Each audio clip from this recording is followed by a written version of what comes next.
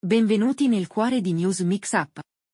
Prima di svelarvi gli avvenimenti di oggi, chiediamo il vostro sostegno, un semplice gesto, un mi piace a questo video e l'iscrizione al nostro canale ci aiuteranno a fornirvi, 7 giorni su 7, informazioni sempre gratuite. Grazie di cuore. Kate Middleton è tornata a casa dalla sua famiglia e dai suoi figli per trascorrere la convalescenza con i suoi cari, assistita dalle infermiere e con il sostegno dei genitori e dei fratelli. Sulle ragioni dell'operazione subita da Kate e sulla sua patologia, molte persone si sono espresse, tra esperti e giornalisti. Questo perché la famiglia reale ha voluto mantenere il riservo, su richiesta della principessa dei Galles, che ha ritenuto importante per la sua tutela e quella dei suoi figli.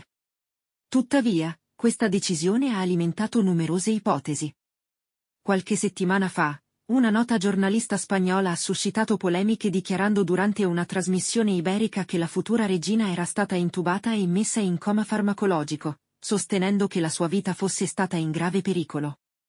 Cleia è un'esperta di cronaca investigativa e di famiglie reali, che ha affermato di aver ricevuto questa informazione da una fonte di Buckingham Palace.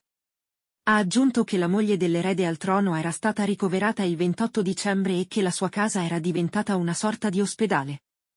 Tuttavia, il primo febbraio scorso, è apparsa una smentita da parte di un portavoce della coppia reale.